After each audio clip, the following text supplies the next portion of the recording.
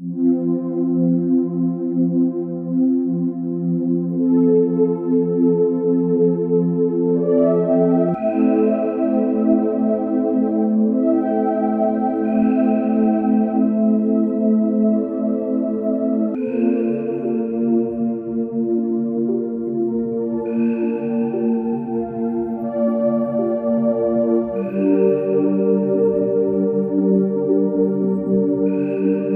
Witajcie dziś.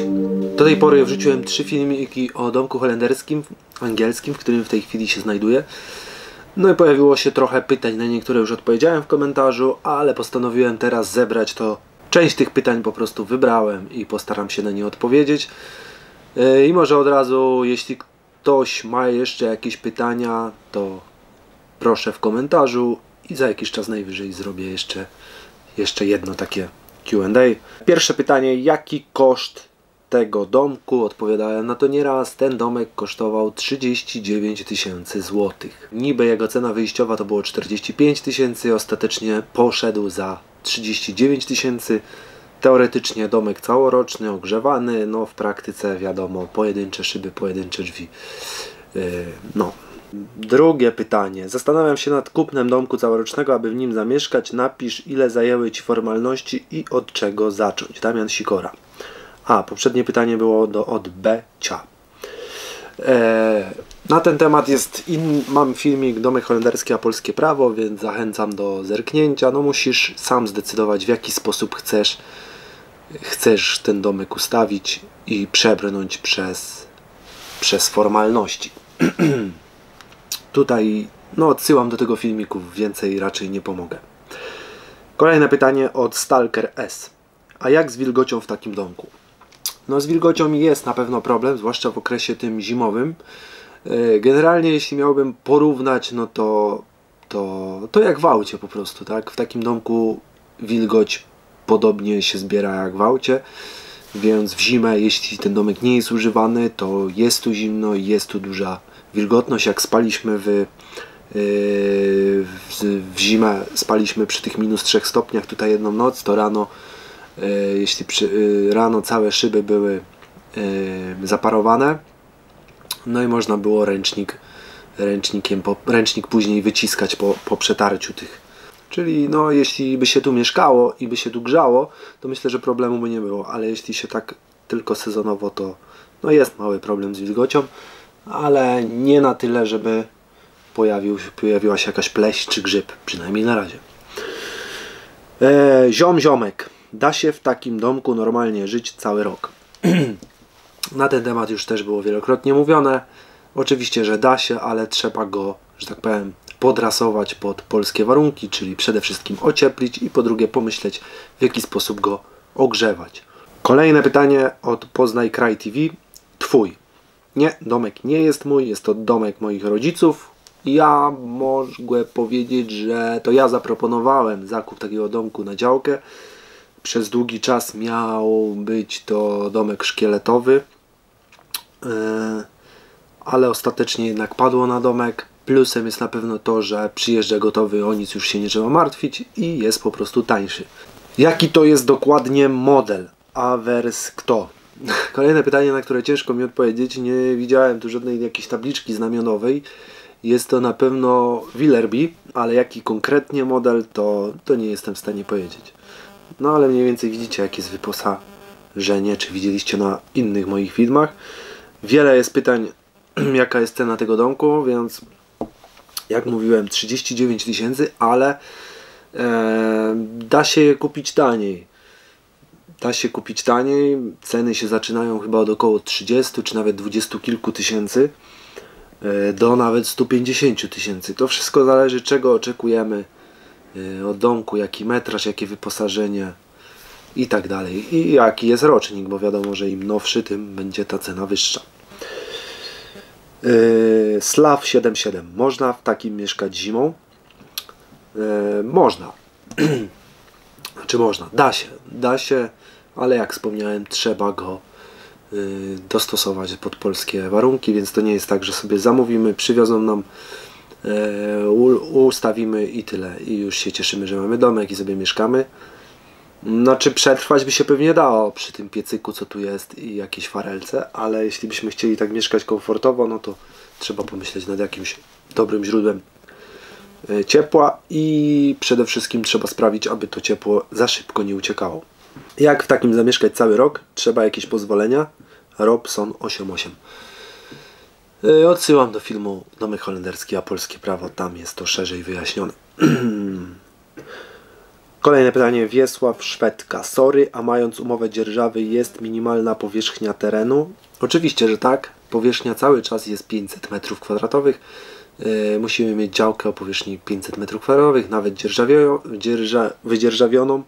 Wtedy yy, i tak wszystko zależy tak naprawdę od umowy, którą mamy z od umowy dzierżawy. Ale tak, tak, minimalna powierzchnia terenu cały czas obowiązuje. Zofia Więcek. A dlaczego działka budowlana, a może wystarczy rekreacyjna? Nie ma czegoś takiego jak działka rekreacyjna w polskim prawie, nie istnieje taki termin. Yy, wiem o co chodzi, chodzi o te działeczki, które mamy na. No, no, chodzi o ogródki działkowe, popularne w miastach, na obrzeżach miast. Yy, tam obowiązuje regulamin tych, tych, tych ogródków działkowych. To też nie jest ziemia jakby nasza, ale fakt, że można tam stawiać jakieś domki yy, takie gospodarcze do 35 metrów kwadratowych.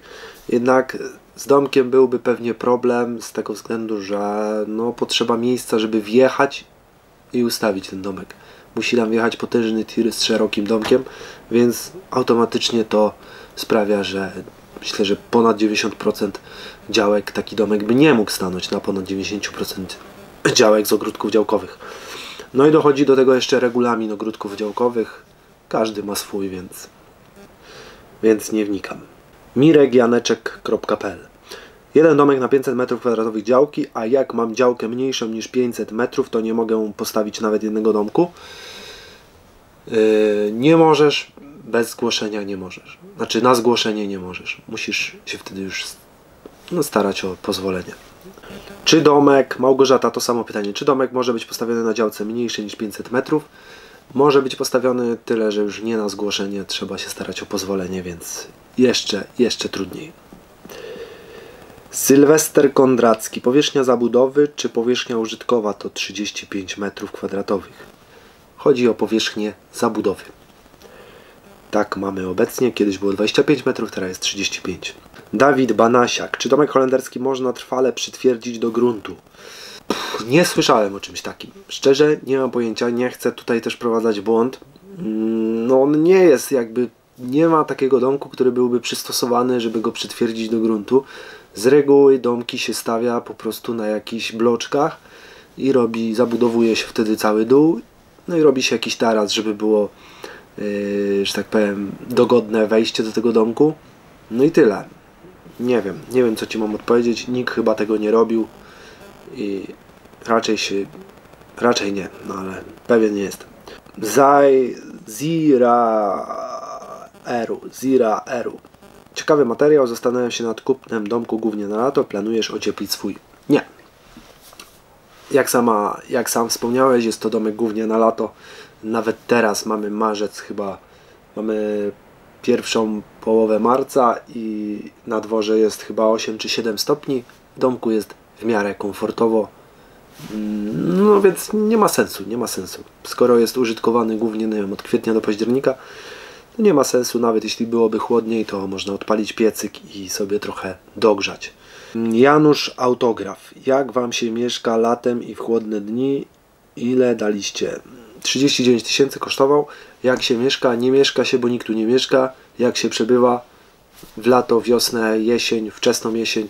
Bardzo fajnie, komfortowo, przyjemnie, choć jak mówię, nocuje się tu raczej e, dzień, dwa, trzy. Raczej nikt tu nie siedzi tygodniami na razie. E, w zimę tylko raz robiłem nockę. No, w takim stanie, jakim teraz jest domek, raczej ciężko by było w zimę tutaj siedzieć. Czy wiesz może ile watów mocy ma ten grzejniczek z pokojów? Mało. Ma mało watów, tyle mogę powiedzieć. Myślę, że około 250. Może w porywach do 400, ale moim zdaniem 250 W, więc bardzo mało. No ale daje ciepło, tylko że no słabo. Słabo jak na taką powierzchnię, przynajmniej w zimę. Jakim dronem kręcone, to dotyczy filmu Domek Holenderski, nocka w domu, Zimowa nocka w domku holenderskim. E, posiadam i kręcę dronem DJI Mavic Mini. Akurat te ujęcia z tamtego dnia były, kiedy dron był uszkodzony, więc gimbal trochę, trochę nie, działał tak jak powinien, ale DJI Mavic Mini. Marcin Majewski. Cześć, a kto Wam sprzedał ten fajny domeczek? Jakiś adres czy namiary? Pod Dębice, koło Łodzi. E, Tam ogólnie jest- jest dwóch sprzedawców, z tym, że jeden ma dość kiepski wybór, mały wybór. e, Więc od tego, który ma większy wybór po prostu tych domków. Pod Dębice. No i to chyba wszystkie z takich z takich ważniejszych pytań. To chyba wszystkie albo większość. Generalnie cię, generalnie umówmy się tak, jeśli macie jakieś pytania, piszcie w komentarzach pod tym filmem, koniecznie pod tym filmem. I już tak bliżej lata, taką wiosną, najwyżej nagram jeszcze raz film. Postaram się już wtedy trochę dokładniej odpowiedzieć na te pytania. I tyle. Dobra, tyle ode mnie na dziś. Trzymajcie się, kolejne filmy z domku wiosną.